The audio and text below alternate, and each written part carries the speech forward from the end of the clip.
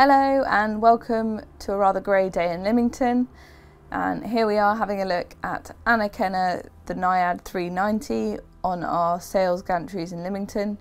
She's a Najad from 1991 and she was bought by this owner in Denmark in 2014. She's one of the rare ones that is in mast furling which is desirable to some but not to others heading straight up forward. The anchor locker is also the gas locker as it is on most Najads. Um, she's got an electric Lewmar windlass there. She's got a removable inner forestay which was fitted by this owner and she's got a pretty much unused jib that goes on this from 2015. Most of her sails are 2015-16 apart from the main and these are all nice and crisp.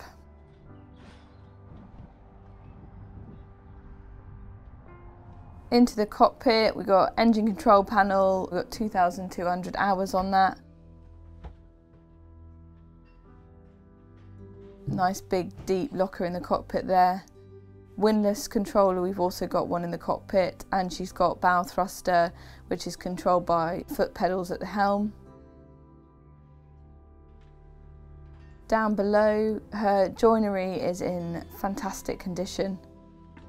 Really, really beautiful. She's had this carpet down. It's kept the sole boards in lovely condition.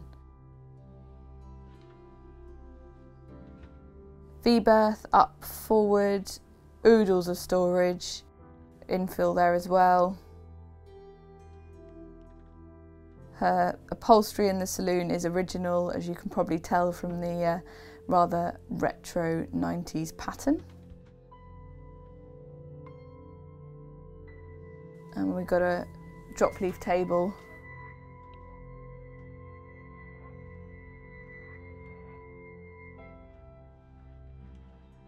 So starboard we've got the chart table forward facing and there's the little Raymarine chart plotter that goes in the cockpit. We've got chart storage above the chart table there which is a quite a clever feature.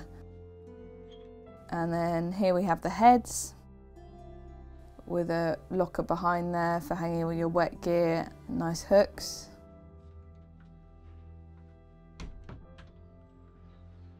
L-shaped galley to port. Quick look at the sole boards here and you'll see what lovely condition the sole is.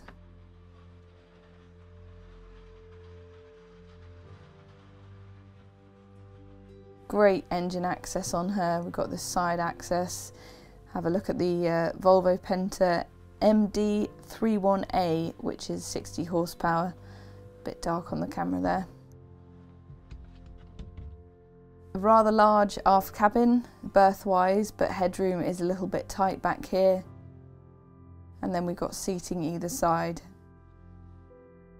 But it's a big old berth back here, very wide.